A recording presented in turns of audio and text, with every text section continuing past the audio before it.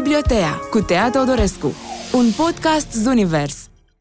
Bine ai venit la Bibliotea! Astăzi vreau să-ți povestesc despre Tentația de a fi fericit a lui Lorenzo Marone, o carte la care am citit finalul de mai multe ori, nu pentru că nu l-am înțeles, ci pentru că m-a rupt în două. Și o să vezi de ce. Acțiunea se petrece la Napoli, într-un cartier cu blocuri vechi, cu vecini la fel de vechi, care se cunosc bine unii pe alții. Roul se numește Cezare Anunțiata. E un bătrân care spune că cine se plânge de bătrânețe e nebun. Lucrul cel mai prețios care se cucerește la bătrânețe e respectul. E ghiduș dacă vrea, e morocănos când are chef și nu dă doi bani dacă face o impresie proastă. Omul se și prezintă cititorului scurt și simplu, ca să știi cu cine ai de-a face.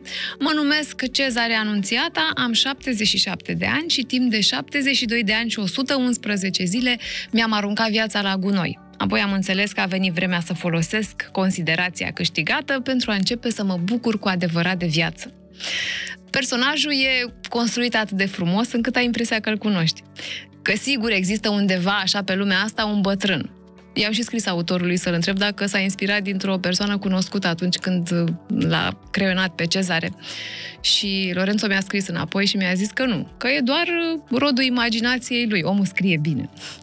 Revenind, Cezare e în putere, e dornic să trăiască și e departe de tiparul bătrânului singur. Îl are aproape pe Marino, e un vecin cu el și prieten bun, prieten vechi, are mai bine de 80 de ani. Marino e unul dintre bătrânii aia băgăreți de care nepoții râd, încearcă Cezare să-i facă portretul.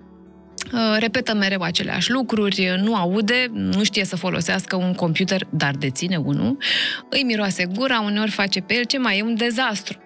Dar e un om tare cum se cade și un bun companion. Apoi mai e Eleonora, tot vecină și ea, pe care Cezare a poreclit-o pisicăreasa. Asta din pricină că strânge toate pisicile pe care le găsește în jurul blocului, le hrănește și le găzduiește, deși poate ele nu-și doresc neapărat asta. Cezare o are alături și pe Rosana, e o prostituată de vreo 60 de ani, Rosana, spune Cezare, își petrece zilele dăruind bucurie clienților, iar pentru ea nu mai rămâne aproape deloc. Așa că bătrânul simte să facă ceva mai mult pentru ea și o invită într-o zi în oraș. Tot Rosana mi se pare că reușește să-l descrie cel mai bine pe Cezare. Cred că tu ești un om frumos care face totul să pară urât. Fără niciun dubiu, viața la bloc are parfumul ei. Blocul în care locuiește Cezare și vecinii se află într-un cartier din Napoli, construit prin anii 60, în plin boom economic și cu multă superficialitate. Asta înseamnă că pereții doar separă familiile, nici vorbă să izoleze fonic. Practic, ajungi să locuiești cu vecinii ai la pachet, după cum povestește eroul nostru, uh, plânsetele copiilor, uh, vecina de deasupra care face pipi și trage apa, tusea lui Marino. Aici, dacă dormi, e puirește până și un pârț tras cu două etaje mai sus te poate trezi. E și descrierile astea te păcălesc. Te aruncă așa într-o scenetă amuzantă, toți sunt spumoși, Cezare mai presus de toți și zici, mamă ce boemie, mi-ar plăcea să mai citesc despre personajele astea. Numai că lucrurile se complică atunci când în bloc se mută Emma și soțul ei. Cezare e sensibil când vine vorba de femei, i-au plăcut în tinerețe, i-au plăcut și când era căsătorit și acum văduvă îi plac la fel de mult. Plus că Emma îi aduce aminte de cineva, de o iubită pe care n-a putut să o aibă.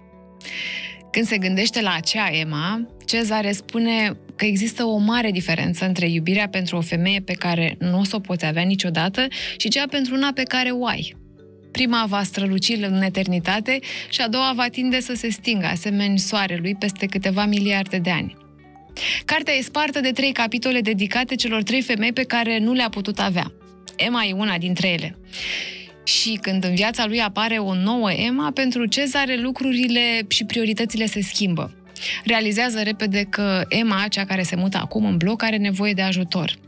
Nici nu-i greu să-și dea seama, grație pereților care, așa cum am spus mai devreme, sunt foarte subțiri și au doar rol despărțitor. Sigur că lui Cezare nu-i merg toate din plin. Altfel de ce am mai citit o poveste unde e bine de la un capăt la altul. Are și el niște schelezi de dezgropat, secrete de aflat și un trecut cu care trebuie să se lupte. S-a uitat la un moment dat în spate și nu i-a plăcut ce a văzut. Simte că plătește acum pentru cum s-a comportat în tinerețe. N-a fost atunci alături de soție și copii, așa cum ar fi trebuit să fie un soț și un tată. A fost absent. Poate de asta află acum că ei, copiii și soția, și-au spus secrete și au făcut destăinuiri, iar pe el l-au lăsat deoparte, exclus. Dante, fiul, e homosexual și încă se ferește să-i o spună, iar fica, Veva, este prea preocupată cu munca, e nefericită și e implicată într-o relație extraconjugală.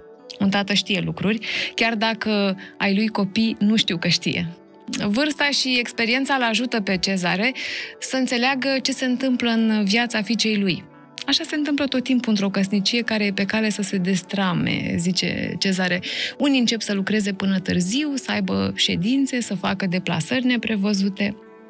Ca orice tată vrea să-și știe copiii fericiți și pentru asta e dispus să se schimbe, să stea la discuții, să participe la confruntări, să facă și conversație simpatică la întâlniri pe care de regulă le-ar fi refuzat.